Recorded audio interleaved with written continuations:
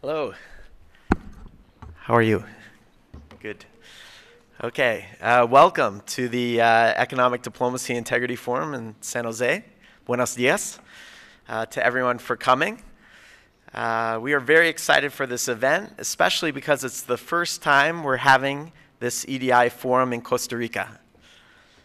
Uh, I'd first like to say thank you to our supporters, the Foundation for International Christian uh, Democratic Development, that helped to make this possible, to the Forum for Leadership and Reconciliation, which is EDI's umbrella organization, and to the Christian Professionals Movement Platform for Christian Politics for their partnership.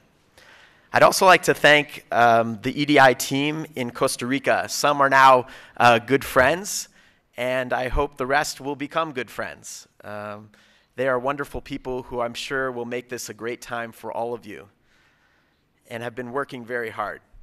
Thank you as well to the speakers that have come, uh, and you'll see that they're going to be amazing and inspiring, and um, I'm really excited for, for them. I know many of them personally. Finally, thank you to Dennis, who is an amazing guy. Uh, and without his and his wife's heart uh, for wanting to see this country transformed and his passion for Jesus and his kingdom, uh, this would not be possible. So thank you to Dennis. Uh, EDI was born out of the prayer of two friends as a response to what to do to help uh, Southeast Europe, actually, after the wars were over in the 90s, and there was an apparent economic and political need to rebuild the nations of that region. And now it has started to move on from there um, uh, in other places like Latin America.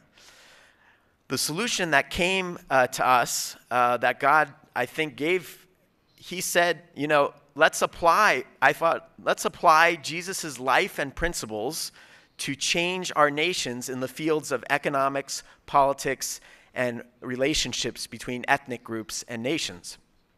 Principles like integrity, moral leadership, service to the community, a focus on the poorest and their needs, faith, and transparency can help combat the Goliaths of corruption, selfishness, youth un- hopelessness, debilitating unemployment, and abject poverty.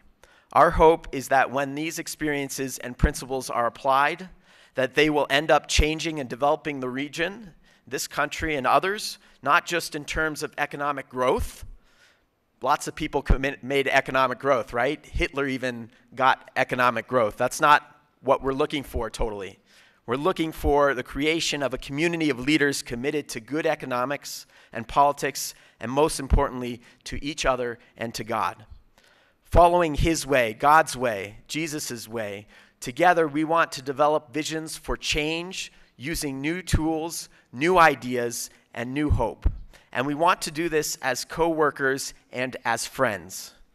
I believe that this is what the Economic Diplomacy Integrity Forum will do in Costa Rica as well. Dennis and his team has taken this fire for transformation and they have given it to you and I want to do that throughout this whole day that you guys will receive this fire to change, to make a change for the nation, that I believe that Jesus want each and every one of you to do. I believe that God will have you be miracles to change the nation. That's why you're here. There is no coincidence that you're here in this room because God wants to give you that fire and to transform you and to send you out. You're not if you're here just to be idle, you know, that's not going to happen, okay? The fire is going to catch you, and I believe that. So don't sit idle. Don't be passive while this corruption, poverty, unemployment, social ills, criminals, and things like that grip our lands and destroy our people. We are at a crucial time. We may be, you know, at the end times, I don't know. But we are at a crucial time. The time is now. And so let's take hold of this hope together. It doesn't take many of us. It really doesn't. It takes a willingness. It takes a willingness. So let's take hold of the hope and friendship, opening our minds, expending our arms in friendship and love, and letting our creative ideas and love flow together. Thank you very much.